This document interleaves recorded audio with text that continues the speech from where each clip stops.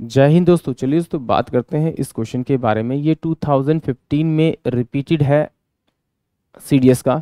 The difference between compound interest and simple interest at the same rate of interest R percent per annum on 15,000 for two year is rupees ninety six what is the value of R यानी examiner ने क्या कहा कि उसके पास कोई amount था उसने R rate of interest fix amount पे उसे दे दिया पंद्रह हज़ार रुपये दिए दो साल के लिए। तो वो पूछ रहा है कि वो जो आर की जो वैल्यू है, वो क्या है?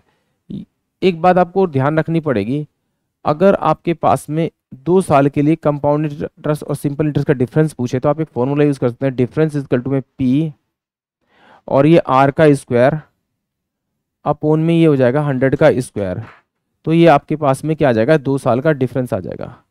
अगर मैं तीन साल की बात करूँ तो डिफरेंस इजकल टू मेरे पास में पी और ये मेरे पास में आर का स्क्वायर अपोन में मेरे पास में हंड्रेड का मेरे पास में क्यूब आ जाएगा और इन टू में थ्री हंड्रेड प्लस का मेरे पास में आर आ जाएगा। ये मेरे पास में थ्री ईयर का फॉर्मूला होगा। या तो आप इसको यूज़ कर लीजिए, या आप सिम, दो साल का सिंपल इंटरेस्ट निकाल लीजिए, दो साल कंपाउंड इंटरेस्ट निकाल लीजिए, तब उसके बीच का डिफरेंस आएगा। या, और अगर तीन साल के लिए निकालना चाहते हो तो तीन साल का सिंपल इंटरेस्ट निकालना पड़ेगा, तीन साल कंपाउंड इंटरेस्ट निकालना पड़ेगा, तब उसका डिफरेंस आएगा। या फिर आप डायरेक्टली फॉर्मूला यूज़ कीजिए और क्वेश्चन का आंसर निकालिए। जैसे टू ईयर का दे रखा तो डिफरेंस मेरे पास यहाँ होगा दोनों का।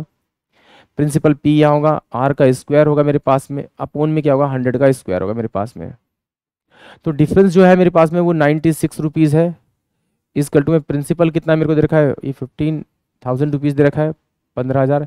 इंटू में आर का स्क्वायर मेरे पास एडजस्ट जाएगा और ये मेरे पास में दो ज़ीरो जाएगा।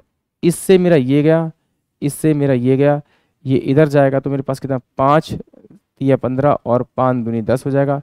तो ये तीन, तिया नौ और तीन दूनी छः। तो ये जब यह जाएगा तो कितना हो जाएगा मेरे पास में आपका? दो दूनी चार और तीन दूनी छः। तो आर जो आएगा मेरे पास में, वो अंडर रूट के अंदर मेरे पास में आर आ जाएगा। यानी कि कितना आएगा मेरे पास में आपका? ये अट्ठू अट्ठे चौंसठ, यानी कि आठ परसेंट जो आएगा मेरे पास में वो आर आ जाएगा। यानी कि ऑप्शन जो ए होगा, वो इस क्वेश्चन के लिए करेक्ट होगा। आई होप आप सभी को क्वेश्चन समझ में आया होगा। जय हिंद, जय भारत।